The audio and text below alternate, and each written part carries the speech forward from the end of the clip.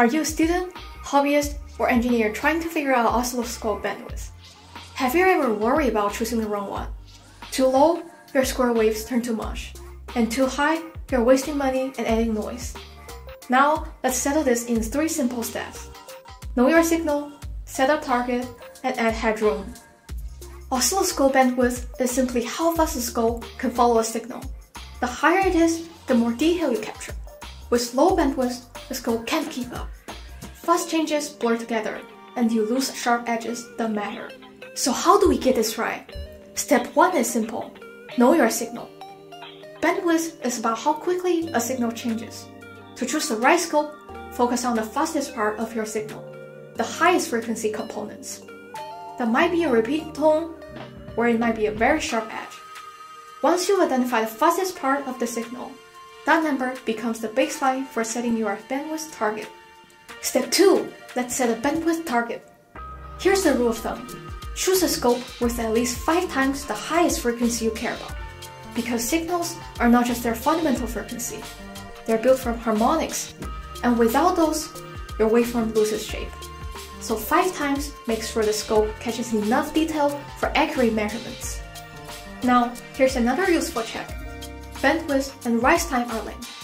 A scope with bandwidth below 1 GHz has its own rise time of about 0.35 seconds divided by bandwidth.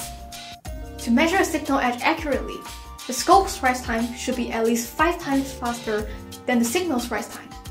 A shortcut is Pick a bandwidth comfortably ahead of your signal's fastest edge, so your scope shows what's really happening. Step 3 is also simple. Add headroom. Bandwidth math gives you a starting point, but signals are not always predictable. If your calculation is close to a scope's limit, go one step higher. That extra margin keeps you safe with fast edges and makes your scope useful longer. For example, if you calculate 50 MHz, don't just stop there jump to 100 MHz. Actually, many engineers aim for about 10 times the highest frequency to stay safe and future-proof. Now, what happens if you don't have enough bandwidth? Let's look at three common problems. First, you lose high-frequency details. Harmonics, spikes, and ringing get filtered out. A square wave that should look crispy now looks rounded, just like this one. Both screens are showing the same 10 MHz square wave. On the left, with 1 GHz bandwidth, the edges are crispy and the shape looks true. On the right, limited to 20 MHz, the harmonics are gone and the wave looks rounded and distorted. Second, amplitudes read low. By definition, at the bandwidth limit, a sine wave measures about 30% smaller. So if you put a 100 MHz sine into a 100 MHz scope, the display won't match reality. Here's a comparison. The blue sine is the true 100 MHz signal, while the red curve shows what a 100 MHz scope would display, about 30% smaller. And third, edges slow down. Every scope has its own rise time, and for a 100 MHz scope, that's about 3.5 nanoseconds.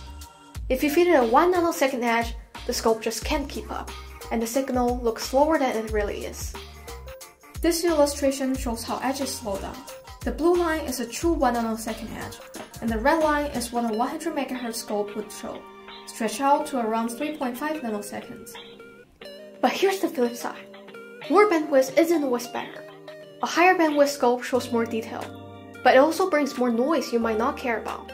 For small signal tests, you can capture the signal first, then use a 20 MHz bandwidth limit to clean it up.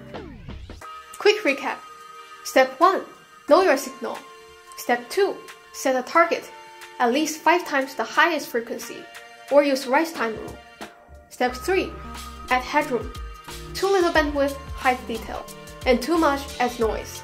If you found this helpful, please subscribe to our channel for next how to scope. We will also be sharing product demos, unboxings, and more ways to get the most out of your RIGOL gears.